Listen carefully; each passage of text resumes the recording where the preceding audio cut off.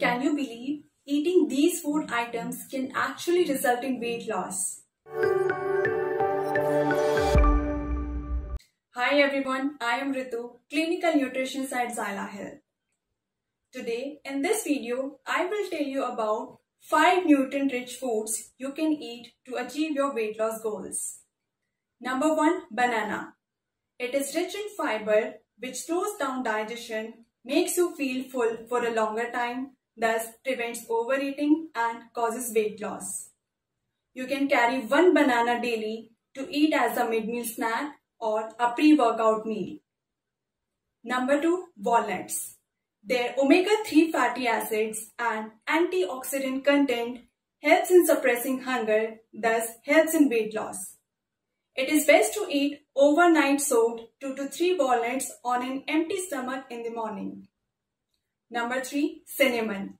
It is not only sweet but healthy as well as it helps in improving your metabolism and improving insulin sensitivity thus resulting in fat loss. You can replace your sugar with one pinch of cinnamon powder. Number 4. Ginger. It is commonly available in everyone's kitchen. It helps as a fat burner and detoxifies the body.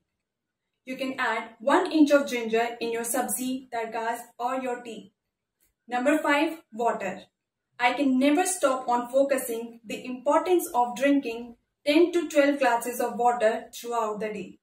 It keeps you hydrated, reduces bloating, removes free radical and metabolizes the stored fat, thus resulting in weight loss.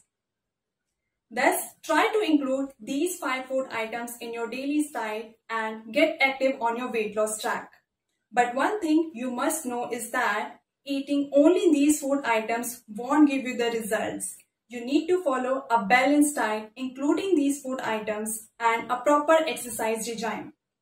And lastly, make sure to love yourself no matter what.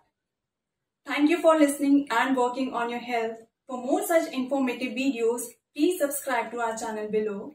And if you are looking for health management program, then download Zyla application from Play Store or iStore.